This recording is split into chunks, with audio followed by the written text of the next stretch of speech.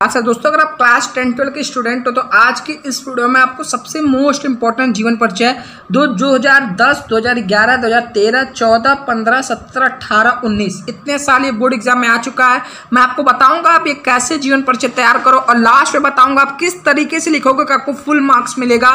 तो आप इस वीडियो को एक सेकंड के लिए स्किप मत करना। अगर आप एक क्लास टेन ट्वेल्व के स्टूडेंट तो आपको इसको वीडियो को एकदम अंत तक देखना है और मैं बताऊँगा किस तरीके से आप कौन से स्टेप फॉलो करोगे कि आपको जीवन परिचय में फुल मार्क्स मिलेगा, ठीक है? तो स्टार्ट करते हैं। सबसे पहले आपको जीवन परिचय, जिस भी राइटर का लिखना है, कवि कवित्री का, ठीक है? आपको इतने पॉइंट ऐड करने पड़ेंगे, ठीक है? नाम, जन्म जन्म स्थान मृत्यु, माता का नाम, पिता का नाम, प्रारंभिक शिक्षा, उच्च शिक्षा, कृतियाँ, ठीक है? अब जैसे आपको महादेवी वर्मा का लिखने के लिए दिया है तो आप सबसे पहले यहाँ पर लिख दो महादेवी वर्मा, ठीक है? महादेवी वर्मा, आपको इनका लिखना है, ठीक है? अब आपको इनका जन्म स्थान पता रहना चाहिए। तो आपको इनका जन्म स्थान 1907 में इनका जन्म हुआ था, ठीक है? अब आपको यहाँ पर थर्ड पॉइंट आपको जन्म स्थान ज़रूर पता रहना चाहिए, ठीक है? तो आप सभी को पता है, ये फरुखाबाद में इनका जन्म स्थान है। ठीक है?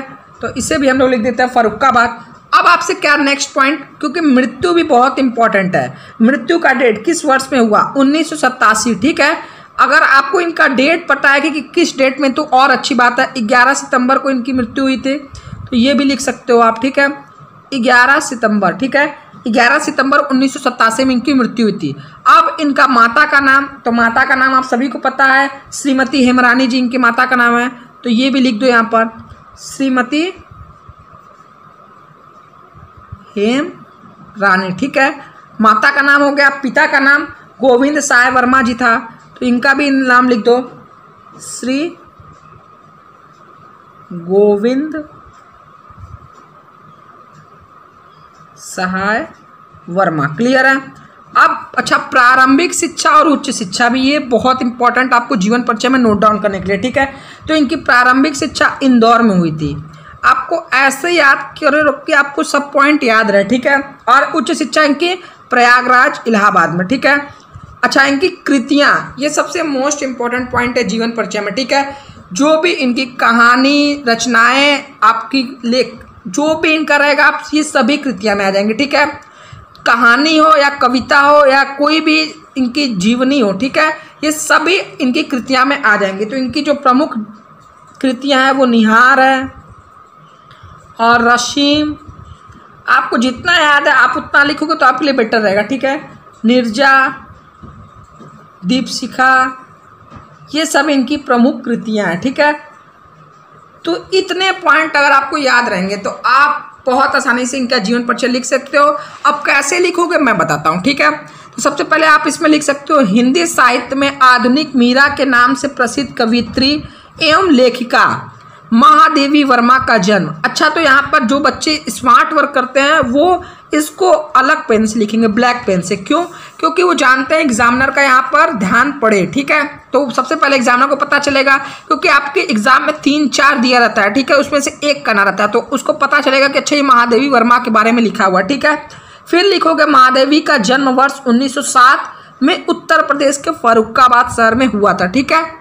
देखो बच्चों, जो जीवन परिचय होता है, उसमें यही सब चीज़ें देखी जाती हैं कि डेट ऑफ़ बर्थ किस शहर में हुआ था, प्रमुख कृतियाँ, माता का नाम, पिता का नाम, ये अगर आपका सही है तो आपको फुल मार्क्स मिलता है, ठीक है?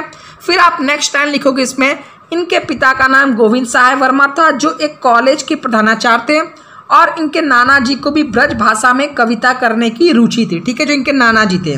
नाना एवं माता के गुणों का महादेवी पर गहरा प्रभाव पड़ा। इनकी प्रारंभिक शिक्षा इंदौर में, ठीक है? और जो उच्च शिक्षा होती है वो प्रयागराज में हुई थी। इनका जीवन काफ़ी संघर्षमय रहा, ठीक है? मतलब काफ़ी कठिनाइयों से इन्हें गुजरना पड़ा। इनकी रचनाएँ पूरे भारत में प्रसिद्ध है। जो इनकी रचनाएँ, वो पूरे भारत में प्रसिद्ध है, ठीक है? देखो, इसमें मैंने कोई भी ऐसा वर्ड यूज़ नहीं किया जो आपको याद करने में प्रॉब्लम हो, ठीक है? अगर आप इसको देखते चलो तो मैं स्टेप वाइज जैसे जैसे इसमें लिखा है, बस इसी तरीके से इसमें सेंटेंस प्रोवाइड कर दिया है और इतना अच्छा लिखा हुआ है कि इसमें एक नंबर भी कटने का कहीं से चांस ही नहीं है, ठीक है? फिर नेक्स्ट लाइन आप लिख दोगे, इनकी प्रमुख रचना निहार, रशिम, निर्जा सांद गीत दीप शिखा है और इस महान कवित्री की मृत्यु उन्नीस सौ सतासी हो गई, में हो गई, ठीक है? अब आपको इतना ही लिखना है। बहुत ज़्यादा आपको इसमें बखेड़ा नहीं करना है कि बहुत सारा लिखें, क्योंकि उसमें वर्ड लिमिट दिया जाता है जन परिचय में कि इतना ही वर्ड लिमिट में आपको लिखना है, ठीक है?